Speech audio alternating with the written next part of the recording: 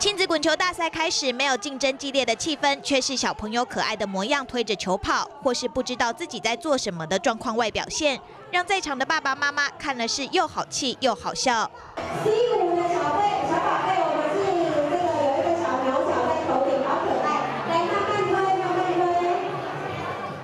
区公所连续举办和家庭相关的活动，先是中和遇到爱的活动，邀请未婚男女来参加，要为他们制造机会。现在则是举办亲子同乐的活动，透过活动展现亲子互动的温馨感受，也要借此多多鼓励已婚夫妻生产报国。那这一次呢，我们为了提升，让我们的这一些的年轻的爸爸妈妈呢，有机会在增产报国，我们希望透过今天的亲子的同乐会的活动呢。让这个生养关系呢能更加的亲密，那有机会呢再帮我们再多努力一下子。我们今天特别安排的这个这个宝贝的这一个滚球比赛，另外还有请的我们所谓的亲子互动讲座，让我们的年轻爸爸妈妈呢，事实上对的来讲说说感动到这个宝贝的这个他的可爱的部分，那可以让我们呃他们之间的这个夫妻之间的关系更加亲亲密。